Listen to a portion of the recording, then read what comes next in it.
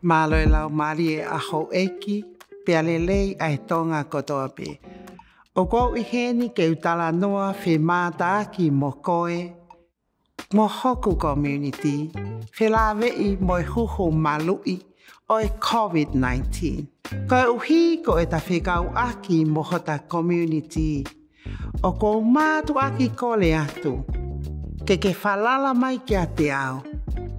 Ko e ngāhi kau taha mo uini, o ku nau tō kanga mā wahe ke ngāhi whakamatala, whalala anga mo pau. Ka o ku ke veivei ua, mo i kai ke ke fuwhakapapau i. Ai mahu inga oi e huhu, o ku mau kole atu.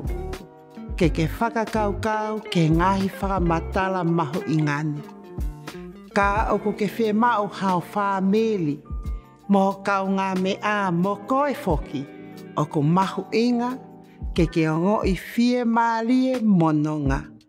Pea ke mahi noi hono mahu inga, he o ku au mahi noi. Koe huhuni o ku malu mo hao o ku ngā uelelei mo aonga. Pea o ku ta e totongi.